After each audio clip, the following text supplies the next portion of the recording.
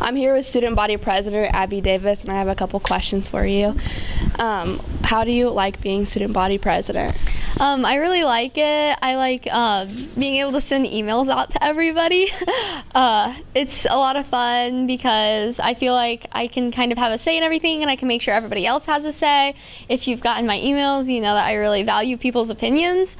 So um, I'm having a lot of fun. I like it.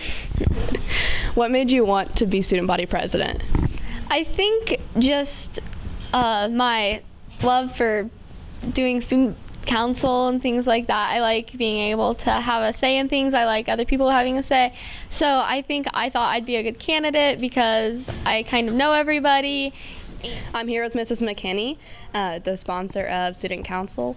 Uh, what made you want to be a sponsor? Um, as far as being a student here at Sheridan High School myself, I absolutely loved my time in student council.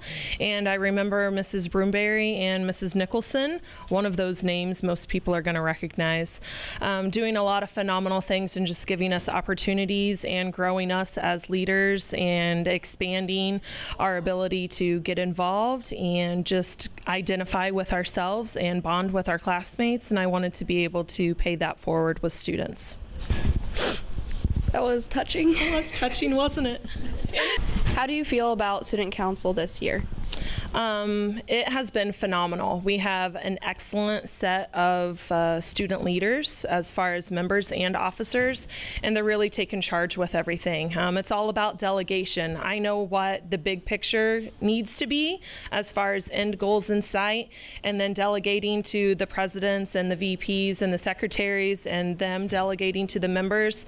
And um, we have excellent leadership as far as our student body officers with um, Abby and Piper and Whitney, and they're really just doing what they need to do, eh, which makes my job tenfold easier. Um, they're being communicative. They're in, embracing everyone.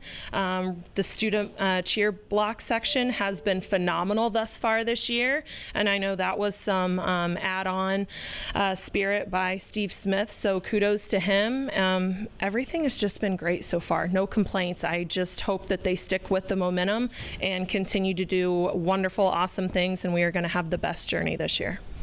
Thank you. Have a great day. Thank you. You too.